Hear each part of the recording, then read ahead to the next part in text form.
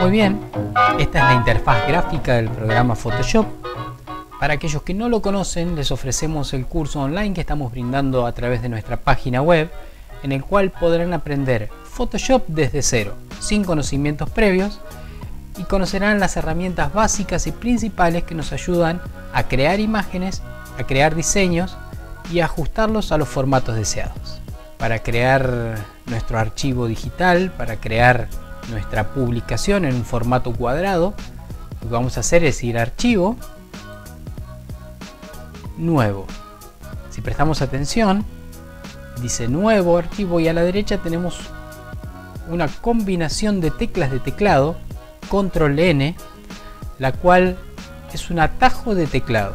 Significa que yo puedo acceder a crear un archivo nuevo presionando en el menú principal archivo y nuevo o haciendo la combinación teclado control N. Yo presiono aquí, me aparece este cuadro de diálogos, vamos a cerrarlo y si yo presiono control N me va a aparecer el mismo cuadro de diálogos. Recuerden que el atajo de teclado es control N.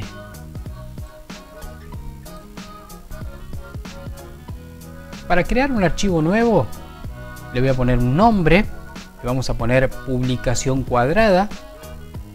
Aquí tenemos las unidades de las que hemos estado hablando hoy. En el ancho vamos a colocar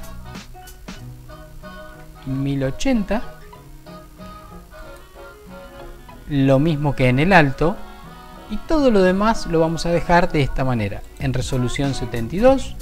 Luego vamos a aprender qué significa esto en colores, en contenido de fondo y en las demás opciones que me permite este cuadro de diálogo. Lo importante es que estamos trabajando en píxeles. Recuerden que nosotros tenemos diferentes opciones de unidades de medición, pero hemos elegido trabajar con píxeles porque es el acceso que nosotros tenemos a la unidad que nos solicitan estas páginas yo coloco OK, ya tenemos nuestra publicación creada. Por supuesto, tenemos un documento en blanco. Ahora lo que nosotros tenemos que hacer es llenarlo. Pero este es el formato cuadrado que me solicitan las redes. O sea que todo lo que yo ponga aquí dentro de estos límites se va a ver bien. Esto nos va a permitir reencuadrar fotografías o crear diseños en los cuales nosotros podemos elegir en qué parte queremos que se vea cada uno de los elementos que vamos a poner. Entonces vamos a aprender cómo insertar las fotografías aquí dentro y ajustarlas para que ocupen el total de mi formato y que no se corte ninguna de las partes importantes de nuestra fotografía o de nuestra publicación. Esto es importante que ustedes tengan ubicado la carpeta donde tienen la fotografía. Una vez que yo la elijo, hago clic con el botón izquierdo sobre la fotografía y la arrastro dentro de mi publicación. De esta manera, fíjense que ocupa parte del lienzo blanco que yo tenía, pero no ocupa todo. Entonces, nosotros lo que vamos a hacer es llevar, adaptar nuestra fotografía al formato cuadrado. Si yo voy a uno de los rincones, fíjense que aparecieron cuadraditos y líneas, y la estiro, y la ajusto al formato cuadrado, era una fotografía rectangular y yo la transformé en cuadrada. O sea que ha quedado toda deformada y no es la idea que nuestra fotografía se deforme de esa manera. Entonces, lo que vamos a hacer en lugar de que nuestra fotografía llevarla desde los rincones a cada uno de los rincones de la publicación, vamos a tener la tecla Shift presionada del teclado y ahora sí vamos a estirar. Fíjense que se mantienen las proporciones de la fotografía sin deformar la niña. Me voy al otro rincón, estiro y una vez que la fotografía ocupa toda la publicación, la reajusto y cuando me gusta como queda presiono Enter. De esta manera llevé una fotografía rectangular a una publicación cuadrada. Elegí cuáles son las partes que se vieran sin correr riesgo que cuando yo la comparta se corte la cabeza o se corte un pie o, o salgan partes cortadas de la publicación o simplemente no se vea lo que yo quiero que se vea.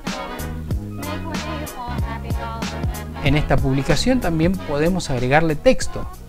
Si nosotros vamos a la izquierda donde está el sector de las herramientas, voy a la T, que es de texto, presiono aquí y fíjense cómo cambió la forma del mouse, presiono sobre la fotografía y escribo. Cuando termino de escribir, fíjense que ahí se ve muy imperceptible porque tengo en este sector en donde se acomodan las propiedades de mi texto, lo tengo muy chiquitito.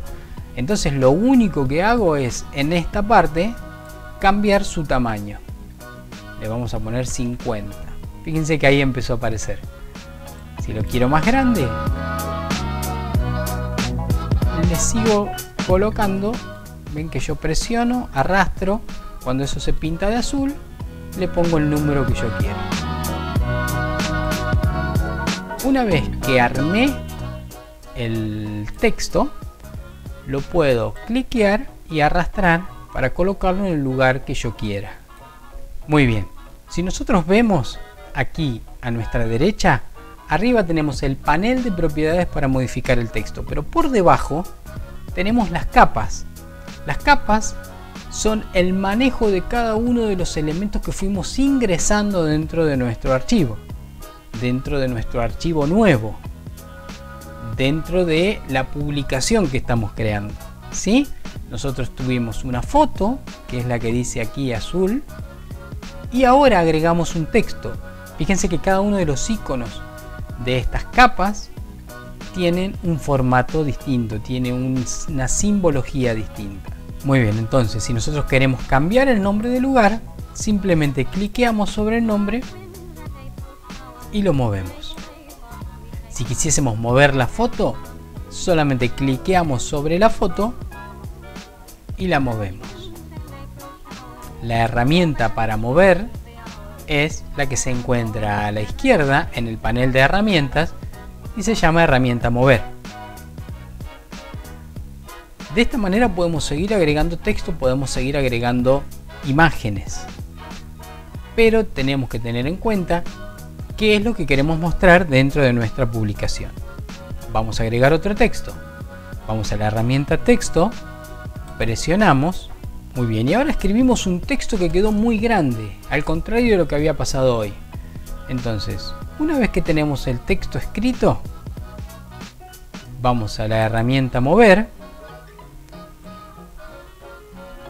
lo acomodamos y volvemos al sector de del panel de modificación de texto y ahora en lugar de ponerle números más grandes le vamos a poner números más chicos vamos a ponerle 50 y ahí vemos que se achicó lo volvemos a acomodar